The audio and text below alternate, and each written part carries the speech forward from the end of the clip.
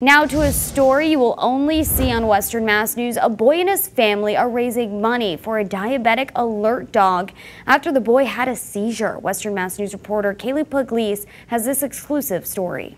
A four-year-old Springfield boy was diagnosed with type 1 diabetes when he was just two years old. And recently, at the beginning of September, his mother thought for sure she was going to lose him after he had a seizure. When he heard my son like do like like a squink like noise, like a really loud, like like if somebody was squeezing him. Carmen Cuba tells Western Mass News her husband was about to leave for work when he suddenly felt an urge to go check up on their son, Carlos Jr. He went upstairs and he was like, "Come on." He thought he was having a bad dream because he was facing down on the on the bed and like with his butt up. And when um he went upstairs to say, "Hey, wake up, wake up."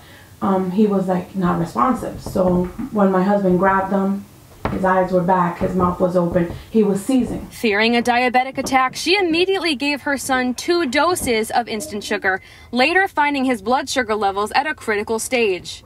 Now the Kumbas are searching for a way to be ready if something like this were to happen again as his body develops and sugar levels change. And a diabetic alert dog is a big possibility to help us with that because they get trained to be able to um, let us know when his blood sugars are low because that's when it's critical. The only problem? It's costing them about $15,000. Luckily, local businesses are helping with their fundraising, and a GoFundMe page they set up has raised more than $2,000 so far.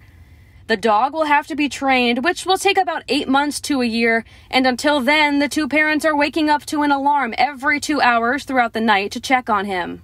I felt like I was losing my child, and as a mother, if I can work 100 hours a week to be able to get this money, I would. My son is my life, my family is my life, and we're doing whatever we can. Definitely a scary moment for this family. And if you're interested in donating to help Carlos get a potentially life-saving sidekick, visit westernmassnews.com to find out how. In studio, Kaylee Pugliese for Western Mass News.